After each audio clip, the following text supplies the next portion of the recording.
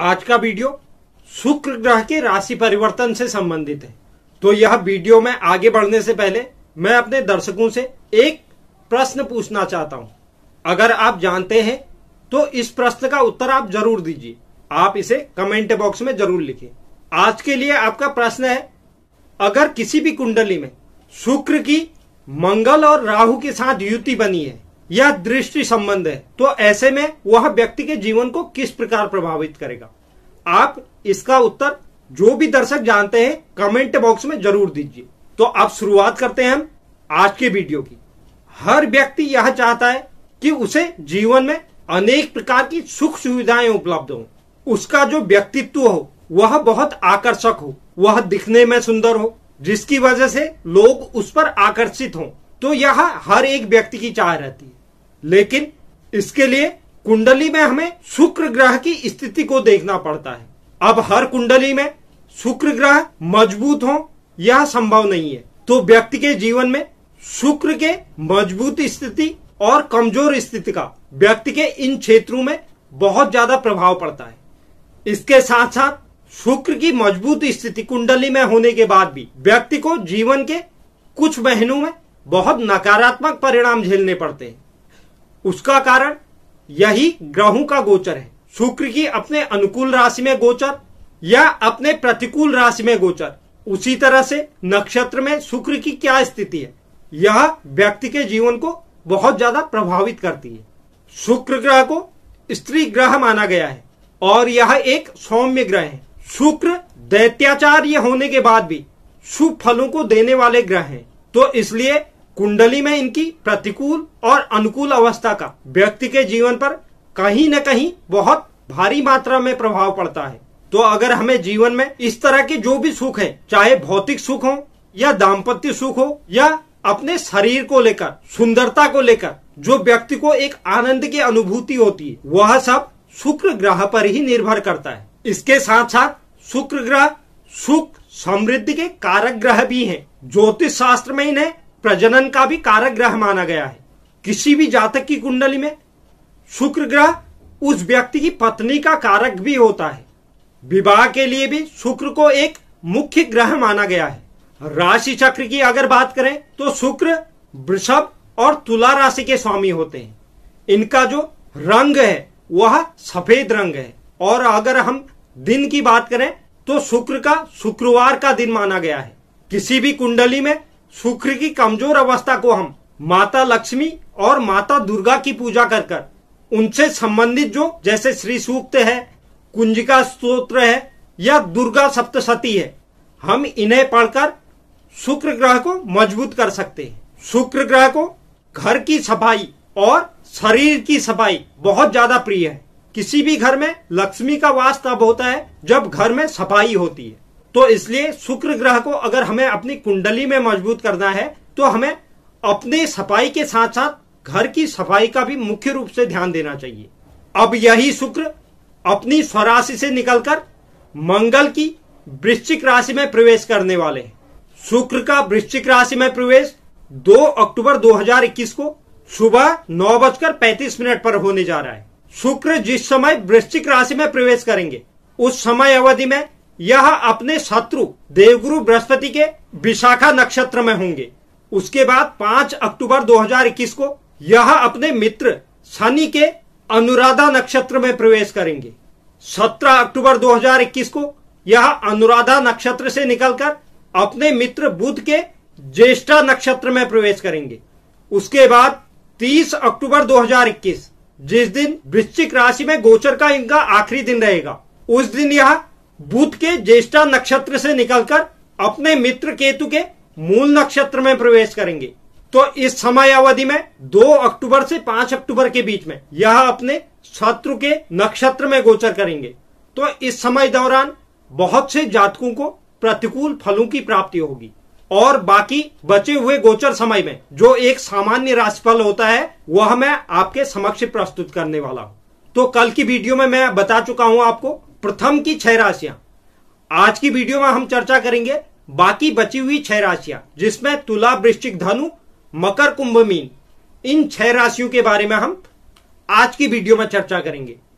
तो वीडियो की शुरुआत करने से पहले, अगर कोई दर्शक चैनल पर नए हैं तो चैनल को ज़रूर सब्सक्राइब कीजिए, साथ ही साथ बेल आइकन भी प्रेस कीजिए। तो अब वीडियो में आगे बढ़ते हैं और बात करते हैं आज की अपनी प्रथम राशि, तुला राशि की।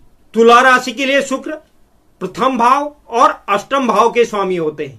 वर्तमान समय में शुक्र का यह गोचर आपके वाणी और कुटुंब के द्वितीय भाव में होने जा रहा है।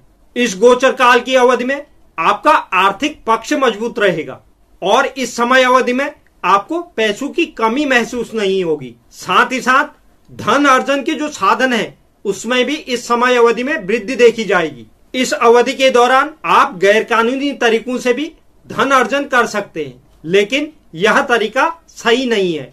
इस समय अवधि के दौरान आपको पैतृक संपत्ति से भी लाभ की प्राप्ति हो सकती है। साथ ही साथ मामा पक्ष के लोगों से भी लाभ की संभावना बनती दिखाई दे रही है।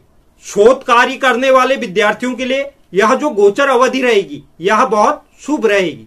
इस समय अवधि में इस राशि के जातकों का पढ़ाई में भी अच्छा मन लगेगा और किन्हीं गहरे रहस्यों को इस समय में आप उजागर कर सकते हैं। फ़ैशन और इवेंट प्रबंधकों के लिए यह जो समय अवधि रहेगी, यह बहुत शुभ साबित होगी। इस समय अवधि में आपकी माता के स्वास्थ्य से संबंधित कुछ परेशानी आपको ज़रूर हो सकती है और आप इस समय अवधि में पारिवारिक सुख के प्रति भी आकर्षित होंगे। साथ ही परिवार के सदस्यों के साथ आप इस समय अवधि में ज़्यादा समय बिताएँगे।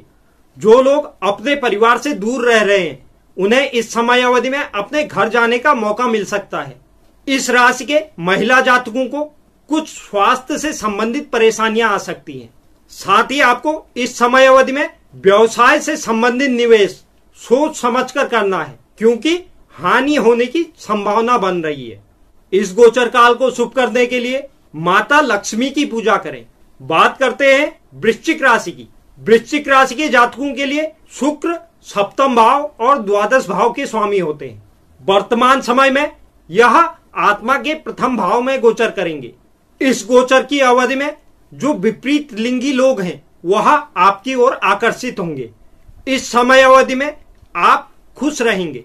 इस समय अवधि के दौरान आप किसी कलात्मक स्थान या खुली हवा का आनंद ले सकते हैं। इस गोचर की अवधि में आप सुंदरता के प्रशंसक होंगे। विवाहित जातकों का भी अपने पार्टनर के साथ अच्छे संबंध होंगे। और इस समय अवधि में आप अपने पार्टनर के साथ कहीं घूमने भी जा सकते हैं। सिंगल जातकों के लिए भी यह गोचर अनुकूल गोचर रहेगा। जो सिंगल जातक इस समय अवधि में शादी की सोच रहे हैं तो उसे एक मनचाहा पार्टनर मिल सकता है। जो लोग कला या डिज़ाइनिंग के क्षेत्र में कार्य कर रहे हैं, उनके लिए यह गोचर बहुत शुभ गोचर बनेगा। इस समय अवधि में आपकी रचनात्मकता चर्म पर होगी। इस समय अवधि में आप किसी अतुल्य कृति का निर्माण कर सकते हैं। आयात निर्यात से संबंधित व्यवसाय करने वाले जातकों को इस समय व्यवसाय में वृद्धि देखी जाएगी। इस समय अवधि में आप अपने सुख सुविधाओं के संसाधनों में अपना धन खर्च कर सकते हैं। इस गोचर काल को शुभ करने के लिए एक चांदी का चौको टुकड़ा अपने पर्स में ज़रूर रखें। बात करते हैं धनु राशि की। धनु राशि के जातकों के लिए शुक्र षष्टम और एकादश भाव के स्वामी होते हैं। इस गोचर काल की अवधि में व्यय और विदेश यात्रा के द्वादश भाव में शुक्र का गोचर होने जा रहा है। शुक्र का यह गोचर आपके लिए मिश्रित परिणाम लेकर आएगा। इस समय अवधि में आपको धन अर्जन के लिए बहुत अधिक मेहनत करनी पड़ेगी और सफलता प्राप्त करने के लिए चतुरता का इस्तेमाल करना होगा। लेकिन इस समय अवधि में आपको विदेश जाने का मौका भी मिल सकता है, जिससे आपके करियर को कुछ सकारात्मकता मिलेगी। इस समय अवधि में आपके आमदनी से ज़्यादा खर्चे हो सकते हैं और बेवजह की चीज़ों पर आपका धन खर्च हो सकता है। विवाहित जातकों के जीवन में इस समय अवधि में कुछ परेशानियाँ देखी जा सकती हैं। इसलिए आपको हर स्थिति को सुलझाने के लिए मन में शांति बनाई रखनी होगी। यदि आप शिक्षक हैं या शेयर बाज़ार में निवेश करते हैं तो आपको इस समय अवधि में सफलता प्राप्त हो सकती है। विदेश से जुड़े व्यवसाय करने वाले लोगों के लिए यह जो गोचर रहेगा, यह बहुत शुभ रहेगा। इस दौरान आपको सफलता मिल सकती है। लेकिन आपको इस समय अवधि में एक बात का विशेष रूप से ख्याल रखना है कि आपको किसी प्रकार के भी गैरकानूनी कार्यों से बचकर रहना होगा। अन्यथा आप किसी परेशानी में फंस सकते हैं। इस गोचर काल को शुभ करने के लिए ओम श्री श्रीय नमः। मंत्र का प्रतिदिन 108 बार जाप करें। बात करते हैं मकर राशि की। मकर राशि के लिए शुक्र पंचम और दसम भाव के स्वामी होते हैं। इस गोचर काल की अवधि में वह आय और लाभ के एकादश भाव में गोचर करेंगे। यह समय आपके लिए बहुत हितकारी साबित होगा। इस समय अवधि में आप आर्थिक लाभ भी कमा सकते हैं। कार्य क्षेत्र में भी आपके वरिष्ठों द्वारा आपके कार्य की सराहना की जाएगी। इससे आपके आमदनी में वृद्धि के चांस हैं। फ़ैशन, डिज़ाइनिंग, मनोरंजन और मीडिया उद्योग से जुड़े लोगों को सफलता प्राप्त हो सकती है। इस समय अवधि के दौरान सामाजिक दायरे में भी प्रतिष्ठा में वृद्धि देखी जाएगी। इस समय अवधि के दौरान लोग आपसे सलाह लेना चाहेंगे और आपकी संगत भी रखना चाहेंगे। कला, पराविद्या, इंटीरियर, आध्यात्म और तंत्र मंत्र की तरफ़ आपका इस समय अवधि में रुझान देखा जाएगा और आपको अपने माता पिता और बच्चों से भी लाभ की प्राप्ति हो सकती है। रोमांटिक रिलेशनशिप के लिए भी यह जो गोचर है, यह बहुत शुभ साबित होगा। इस समय अवधि के दौरान आप बहुत खुश मिजाज रहेंगे और लोगों के बीच आकर्षण का केंद्र बने रहेंगे। इस अवधि में आपके दोस्तों में भी वृद्धि देखी जाएगी। स्वास्थ्य के लिहाज से भी यह गोचर आपके लिए शुभ साबित होगा। इस गोचर काल को शुभ करने के लिए आपको इस अवधि के दौरान श्री सूक्त का पाठ करना चाहिए। बात करते हैं कुंभ राशि की। कुंभ राशि के जातकों के लिए शुक्र योग कारक ग्रह माने गए हैं। क्योंकि शुक्र कुंभ राशि के लिए चौथे भाव और नवम भाव के स्वामी होते हैं। वर्तमान गोचर की अवधि में यह आपके कर्म के दसम भाव में गोचर करने जा रहे हैं। इस समय अवधि में आप बहुत ज़्यादा ऊर्जावान रहेंगे। करियर क्षेत्र में भी आपको सफलता की प्राप्ति होगी। यह कोई मायने नहीं रखता है कि आप नौकरी करते हैं या व्यवसाय। यदि आप सरकारी नौकरी में हैं तो इस समय अवधि में आपके प्रमोशन के भी चांस बन रहे हैं। आपके सीनियर्सों द्वारा आपके कार्य की सराहना की जाएगी। इसी वजह से आपको प्रमोशन की भी प्राप्ति हो सकती है। परिजनों का भी आपको इस समय अवधि के दौरान भरपूर सहयोग देखने को मिलेगा। प्रॉपर्टी पर निवेश करने के लिए यह समय आपके लिए बहुत शुभ साबित होगा। इस समय अवधि में आप भौतिक संसाधनों पर अपना धन खर्च करेंगे, जिससे आपको संतुष्टि और खुशी की प्राप्ति होगी। इस समय अवधि में आपको कोई पैतृक संपत्ति मिलने की भी संभावना बन रही है। विद्यार्थियों के लिए भी यह गोचर बहुत शुभ गोचर साबित होगा। इस समय अवधि के दौरान विद्यार्थी जातकों की याददाश्त अच्छी रहेगी और एकाग्रता में भी वृद्धि देखी जाएगी। स्वास्थ्य के लिए हद से यह गोचर आपके लिए शुभ साबित होगा। इस गोचर काल की अवधि में आपको शुक्रवार के दिन गुलाबी वस्त्रों को धारण करना चाहिए। बात करते हैं आज की अपनी अंतिम राशि, मीन राशि की। मीन राशि के जातकों के लिए शुक्र तीसरे और आठवें भाव के स्वामी होते हैं। इस गोचर काल की अवधि में भाग्य के नवम भाव पर शुक्र का गोचर होने जा रहा है। यह गोचर आपके लिए मिले जुले परिणाम लेकर आएगा। सामान्य रूप की बात की जाए तो इस गोचर के दौरान खुद को खुश महसूस करेंगे। जीवन में छोटे मोटे पलों का भी आप इस समय अवधि में आनंद लेंगे। कार्य क्षेत्र में भी आप अपनी बुद्धिमता से कार्य करेंगे, जिससे आपको कार्य क्षेत्र में सफलता की प्राप्ति होगी। हालाँकि, इस समय अवधि में आपका भाग्य आपके साथ बहुत अधिक अच्छा नहीं होगा। अपने अच्छे प्रयासों के बाद भी आप इस समय अवधि में अपने वरिष्ठों का दिल नहीं जीत पाएँगे। आप ध्यान गुण विद्याओं की ओर इस समय अवधि में आकर्षित हो सकते हैं। लव रिलेशनशिप को लेकर आपको इस समय अवधि में सावधान होने की ज़रूरत है। शुक्र की दृष्टि नवम भाव पर बैठकर तृतीय भाव में होगी। इसलिए आपकी जो संचार व्यवस्थाएँ हैं, वह भी इस समय अवधि के दौरान अच्छी साबित होंगी। यदि आप शिक्षक हैं तो इस समय अवधि में आपको सफलता की प्राप्ति होगी।